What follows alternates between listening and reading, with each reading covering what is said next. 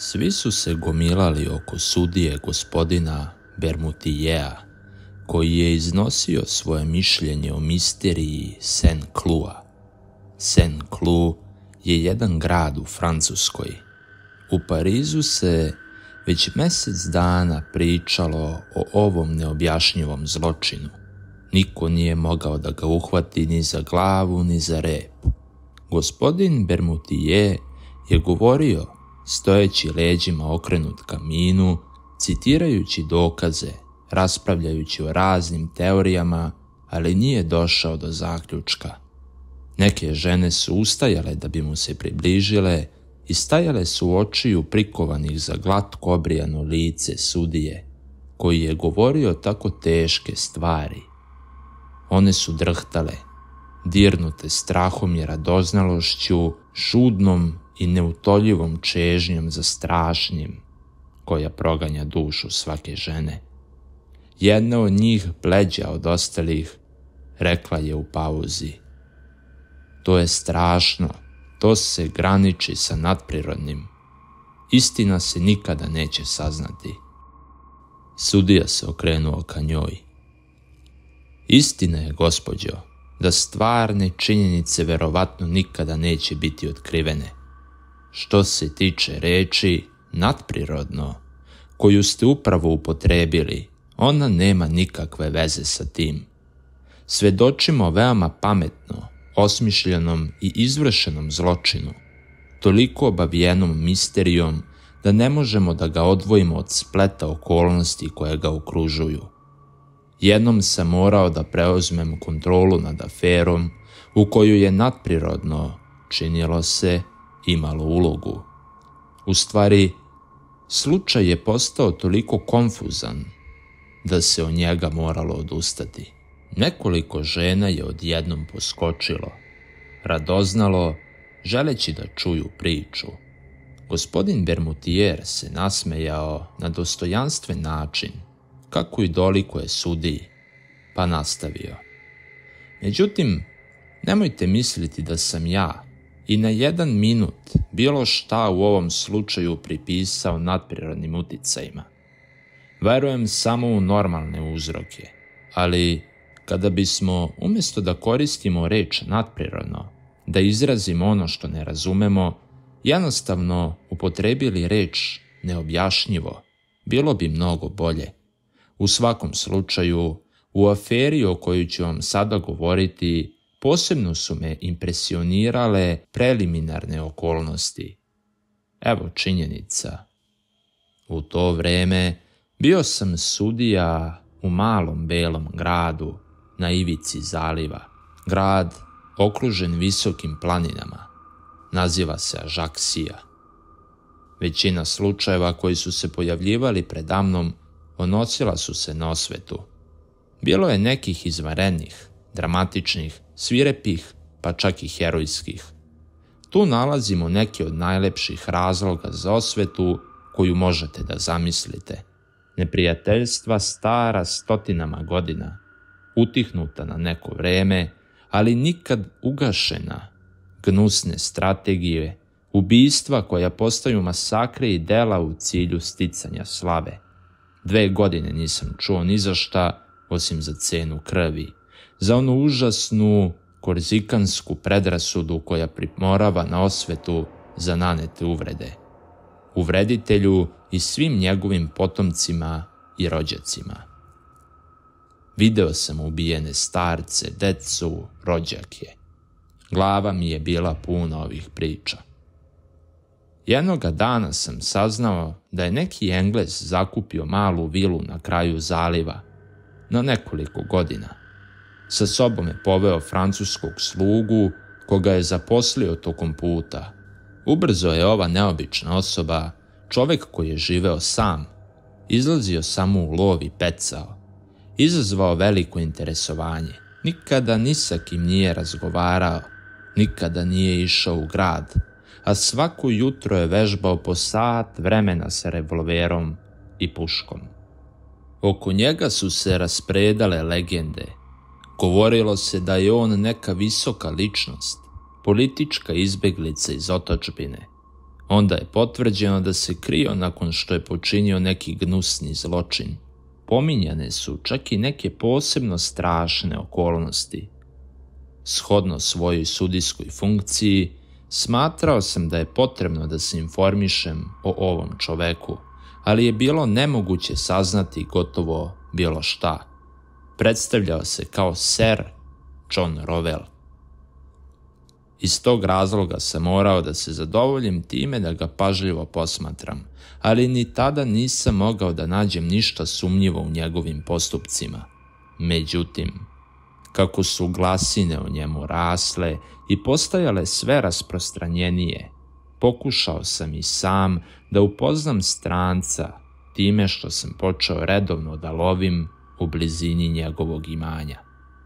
Dugo sam posmatrao, a da nisam našao priliku. Najzad mi je došla u obliku jerebice koju sam upucao i ubio pred Englezom. Moj pas mi ju je doneo, ali uzevši pticu, odmah sam otišao do ser Johna Rovela i zamolio ga da je prihvati, izvinjavajući se.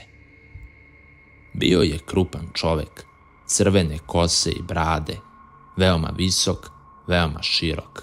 Neka vrsta smirenog i učtivog Herkula. Nije imao ništa od takozvane britanske ukočenosti i srdačno mi se zahvalio na pažnji jakim engleskim akcentom. Do kraja meseca razgovarali smo pet, šest puta. Najzad, jedne noći, dok sam prolazio ispred njegove kuće, video sam ga u bašti kako sedi na stolici i puši lulu. Naklonio sam se, a on me je pozvao da uđem i popijem čašu piva. Nije mi trebalo nagovaranje.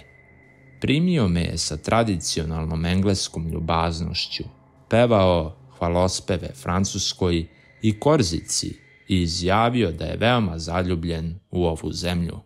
Tada sam mu veoma oprezno i pod maskom ljubopitljivosti postavio nekoliko pitanja o njegovom životu i njegovim planovima.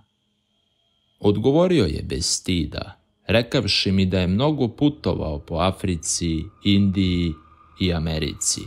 Smejući se dodao je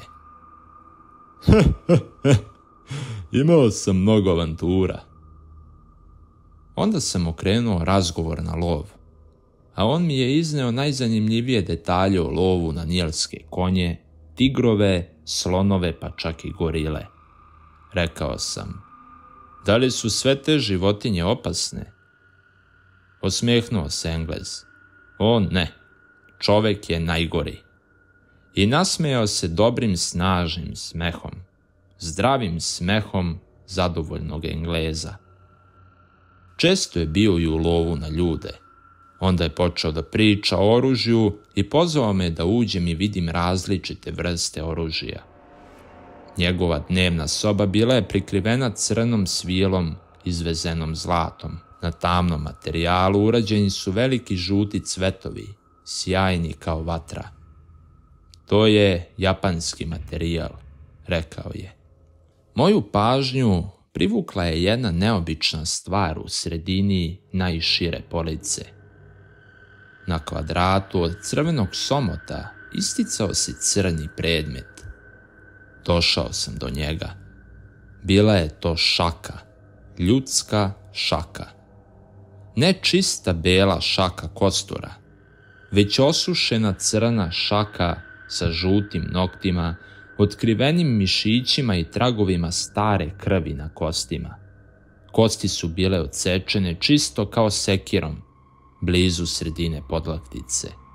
Ogroman gvozdeni lanac bio je zakovan i zalemljen za zglobovog prljavog uda, pričvršćen alkom za zid, dovoljno jakom da drži slona na povodcu. Pitao sam, šta je to?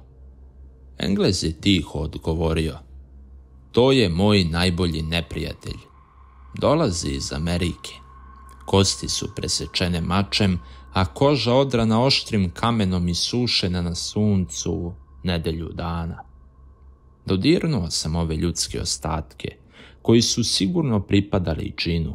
Neobičajeno dugi prsti bili su pričvršćeni ogromnim tetivama na kojima su još ponegde visili komadi kože.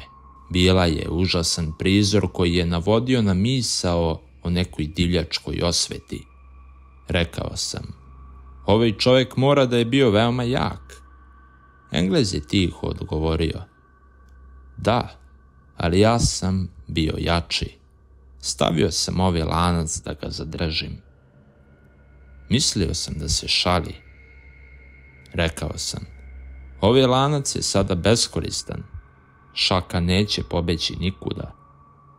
Sir John Rovel je ozbiljno odgovorio. Uvek želi da ode, lanac je potreban da je zadrži.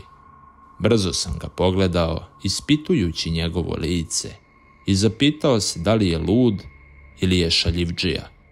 Ali njegovo lice je ostalo nedokučivo, mirno i prijateljsko. Okrenuo sam se drugim temama i divio se njegovim puškama. Međutim, primetio sam da je u prostoriji držao tri napunjena revolvera, kao da je stalno strahovao nekog napada. Nije bio miran. Posjetio sam ga nekoliko puta, a onda više nisam išao. Ljudi su se navikli na njegovo prisustvo i izgubili interesovanje za njega. Prošla je cijela godina. Jednog jutra, krajem novembra, probudio me moj sluga i objavio da je ser John Rovel ubijen svirepo tokom noći. Pola sata kasnije ušao sam u kuću pokojnog Engleza, zajedno sa policijskim komesarom i kapetanom žandarmerije. Sluga je plakao pred vratima, zbunjen i očajan. Prvo sam sumnjao na tog čoveka, ali on je bio nevin. Krivac nikada nije pronađen.